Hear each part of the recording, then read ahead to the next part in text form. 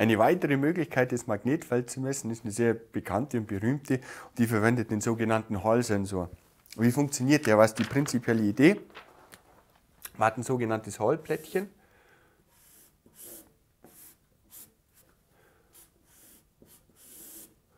Es hat ein paar geometrische Eigenschaften, die eventuell wichtig sind, das sehen wir gleich. Es hat vor allem hier die Dicke D zunächst mal und vielleicht auch eine Breite B aber die ist oftmals gar nicht notwendig. In der Darstellung, wenn man damit arbeiten will, was macht man? Man geht her und schickt durch dieses Plättchen in der Längsrichtung den Strom, den sogenannten Steuerstrom und misst jetzt an den Seitenflächen hier die sogenannte Hallspannung.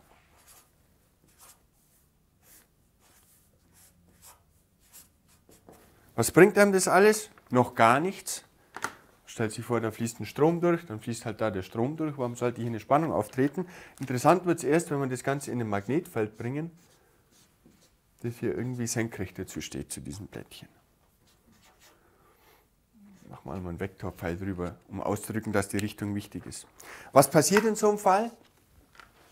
Die Elektronen, die fließen, werden durchs Magnetfeld abgelenkt. Das ist der Zusammenhang zwischen bewegter Ladung bzw. zwischen der Ladung, die in ein Magnetfeld bringt, die geht der Magnetfeldlinie nach. Das heißt, in diesem Fall werden die seitlich abgelenkt.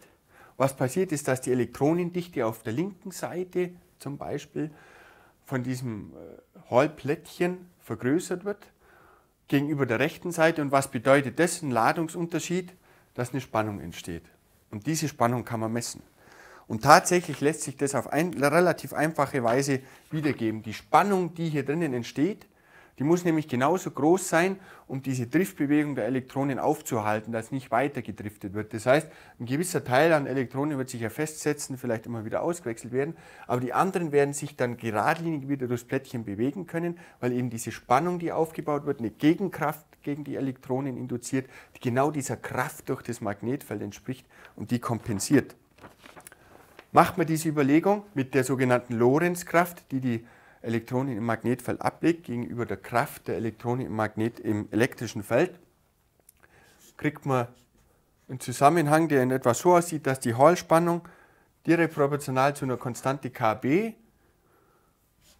dem Steuerstrom ST, den man durchschickt, und dem Magnetfeld ist.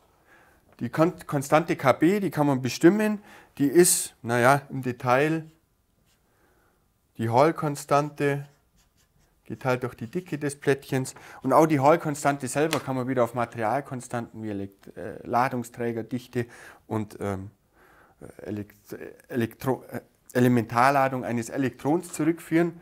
Ist aber im Endeffekt eine Größe, die man messen muss, je nach Material, weil natürlich diese absoluten, einfachen Konstanten da keinen Einblick geben. Den Steuerstrom, den kann man sowieso kontrollieren, den muss man natürlich sehr gut kontrollieren und sehr konstant halten.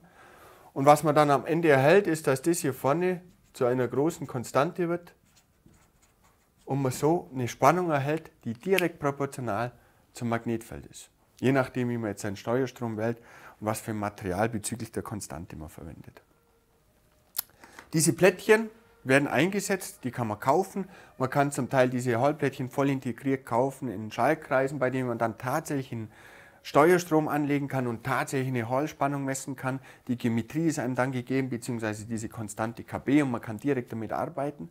Man bekommt sowas aber auch als voll integrierten Sensor, bei dem dann ein Spannungsausgang steht, bei dem dann eine analoge Verarbeitung über Operationsverstärker bereits stattgefunden hat und man eine Spannung abgreifen kann, die einfach direkt proportional zum Magnetfeld ist und man diesen voll integrierten Sensor mit einer bestimmten Spannung betreiben kann. Im Allgemeinen finden diese Hallplättchen Anwendung in vielen Bereichen, vor allem auch zur Strommessung, können aber auch als explizite Magnetfeldsensoren bezogen werden. Diese Hallplättchen an den Hall-Sensoren bzw. Sonden können auch wieder ausgetauscht werden. Und hier ist aber immer wichtig, dass mit dem Hallplättchen natürlich auch die Ausrichtung des Magnetfelds eine Rolle spielt. Das heißt, je nachdem, wie man die Sonde positioniert und dreht im Magnetfeld, kriegt man größeren oder kleineren Wert für das Magnetfeld, muss dementsprechend natürlich berücksichtigen, was das für die Messung bedeutet, weil das Magnetfeld eben eine Richtung haben kann.